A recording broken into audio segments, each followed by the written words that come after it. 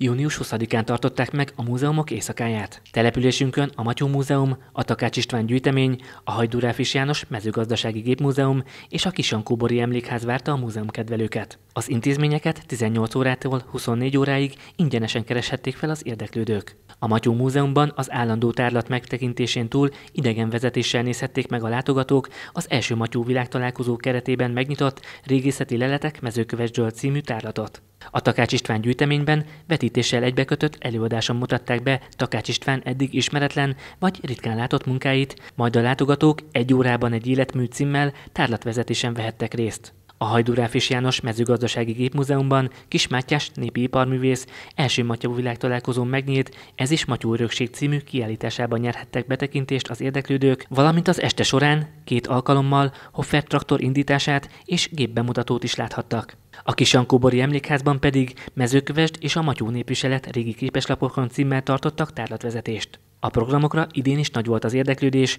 sokan ellátogattak a mezőkövesdi múzeumokba.